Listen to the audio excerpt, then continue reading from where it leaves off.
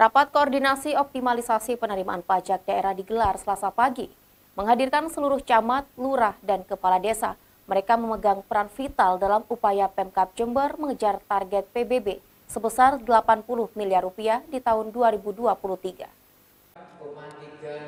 Diikuti para camat, lurah, kepala desa, dan perwakilan perusahaan perbankan. Rapat koordinasi optimalisasi penerimaan pajak daerah digelar di Aula PB Sudirman, kantor Bupati Jember Selasa pagi.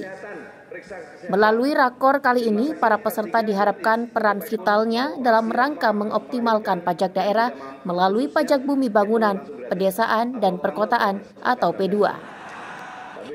Mereka didorong untuk senantiasa aktif mensosialisasikan pembayaran pajak kepada masyarakat saat melakukan penagihan sehingga penerimaan pajak daerah bisa menyentuh target ideal. Yang jelas uh, kami sedang menata bagaimana kita peningkatan pajak di tiap tahun akan semakin meningkat dan sampai hari ini memang sudah meningkat tapi target yang ada yang ditargetkan masih belum sampai tapi kalau diperoleh dari tahun-tahun sebelumnya realisasinya terus meningkat itu seperti itu. Data Badan Pendapatan Daerah Kabupaten Jember mencatat, setidaknya 20 desa masih berada di bawah standar angka penerimaan pajak. Karenanya, Bapenda terus melakukan verifikasi dan identifikasi permasalahan agar penerimaan pajak rendah tidak terulang. Pemerintah daerah pun telah bekerja sama dengan kejaksaan guna meningkatkan kepatuhan masyarakat membayar pajak. Kita evaluasi ada memang yang 20 20 persen itu ada sekitar di bawah itu sekitar 20 desa. Hmm. Jadi ini menyebar uh, di beberapa desa.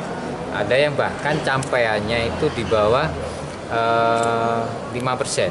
5 persen contohnya di di apa di Pringgodani juga ada kalau tidak salah terus kemudian di desa di Lampeji juga ada kemudian di Taman Sari Taman Sari tapi Taman Sari Sari itu juga uh, capaiannya masih relatif sangat uh, rendah. Nah, oleh karena itu sebenarnya uh, menjadi catatan dan evaluasi kami apa yang menyebabkan capaian di masing-masing desa tadi ini tidak optimal.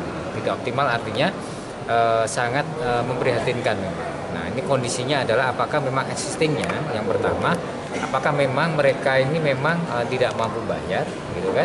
Atau mereka kesulitan membayar atau lagi sudah membayar sebagian barangkali tapi itu masih belum tersampaikan uh, ke kas daerah. Adapun Pemkap Jember menargetkan penerimaan pajak daerah tahun 2023 sebesar 80 miliar rupiah. Ana Sidayat, News FTV Jember, melaporkan.